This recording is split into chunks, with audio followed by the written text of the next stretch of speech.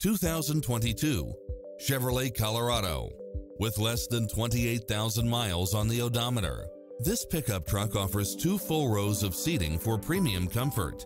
Fall in love with its many extra features, which include the following Wi-Fi hotspot, satellite radio, four-wheel drive, parking aid sensor, heated side view mirrors, backup camera, power driver seat, Bluetooth, auto climate control, keyless entry.